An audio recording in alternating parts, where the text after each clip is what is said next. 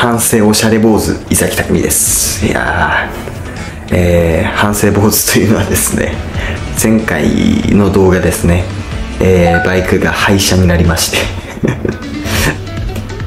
まあ坊主ではないですね。でまあ常日頃ですね僕ちょっと思ってたことがあるんですけど、えー、パトカーと救急車と消防車これ全部同じ現場に呼ぶのってあの火をつけることなんですね、まあ、火つけたらもちろん放火ですからパトカーが来ます。で、えー、怪我人がいるかもしれないから救急車が来ます。で火消すために消防車が来ます。ででもこれには上の段階があるんです海上保安庁です。海上保安庁も来たら4つ揃うんですね。その時にはまず、えー、船船に火つけたらパトカー来るし救急車来るし消防車来るし海上保安庁来るんです。でもこれにはさらに上の段階があるんです。それが自衛隊ですね。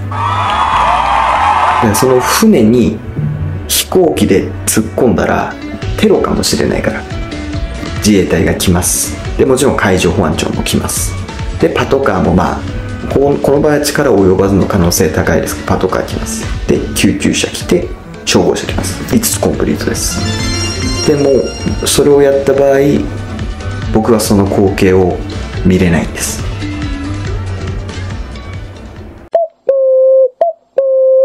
えー、あれから、えー、1日ほど経ちましてでそのさっき動画で言うとさっきになるのかな？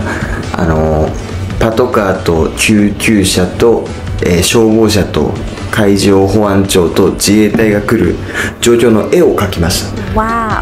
であの前回の動画で僕言ったんですけど、えー、バイクが壊れましてあのウーバーイーツがもうできないんですよ。収入源が今ないのであの代わりにですねこれをヤフオクに売って生活費にしようと思いますじゃあその結果は別の動画で。ありがとうございました。うんち。うんうんち。うんちうんち。うんうんちが漏れちゃうんだよな。